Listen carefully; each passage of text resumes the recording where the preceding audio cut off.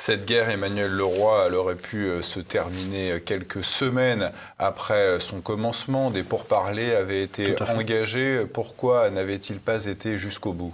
Bien, je crois que c'est l'ancien Premier ministre israélien, M. Naftali Bennett, qui en a parlé donc, euh, il y a peu de temps, pour dire que les Russes et Ukrainiens, au mois de mars, 2022 euh, était sur le point de s'entendre pour régler la situation à l'amiable et donc geler, le, entamer un processus de paix véritable et que c'est la venue de Boris Johnson dans un premier temps et des Américains à la suite qui ont euh, relancé le processus de guerre car manifestement c'est euh, une, une évidence de voir que l'OTAN veut cette guerre à tout prix. L'OTAN et donc l'Occident derrière, Londres et Washington en particulier, veulent la guerre à tout prix. Alors je voudrais justement donc euh, à ce sujet vous lire un très court extrait d'un ouvrage qui est peu connu mais que les, gens doivent connaître parce que c'est une réalité de terrain.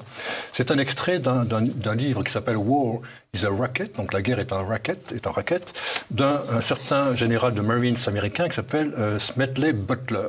Donc je vais vous lire un court extrait car il, euh, a été écrit cet, cet ouvrage en 1935 mais euh, presque un siècle après, il n'y a pas une virgule à changer. Donc écoutez donc.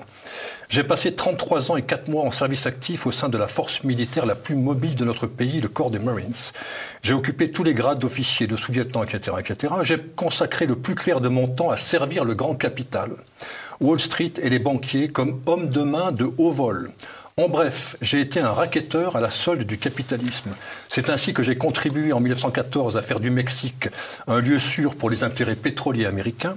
J'ai aidé Haïti et Cuba à devenir des endroits suffisamment respectables pour que les hommes de la National City Bank viennent y gagner de l'argent.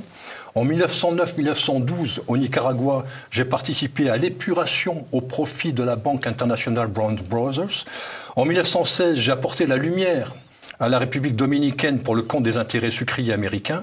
En 1913, j'ai fait en sorte que le Honduras soit mûr pour accueillir les compagnies fruitières des États-Unis.